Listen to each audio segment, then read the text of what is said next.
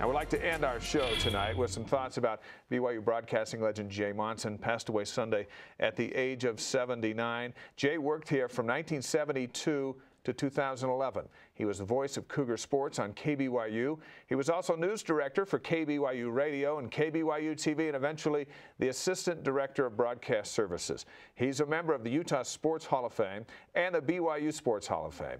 And Blaine and I had a chance to spend a lot of years working by his side. Jay understood the mission of the program and what it could do both for the school and for the church. He certainly loved his job, and we had uh, we had a lot of memories with him. Yeah, he helped both of us get our start. He was a great man, a good a good mentor for both of us.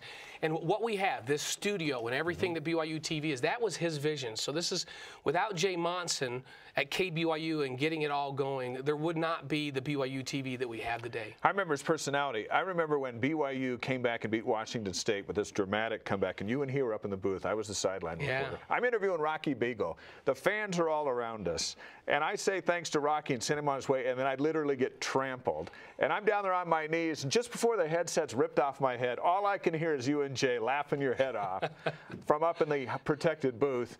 And uh, and you guys were still laughing about it when I when I regrouped and came out of the stadium. But I remember Jay's laughter uh, in that particular moment and, uh, and enjoyed his personality. I think the game that he and I loved the most was that Miami game. Yeah. You know, and I'll never forget that game ended, and he took off his headset and he just looked at me and he goes, "Wow, that was awesome," and it really was. There, I've never seen electricity in the stadium before or since like it was that night in that big upset, and uh, and I'll always remember calling that game with Jay. We called a lot of games together. Mm -hmm. No, Jay will be missed, and we extend our deepest sympathy to the entire Monsen family, and we say thank you for sharing your dad with us for all of those years.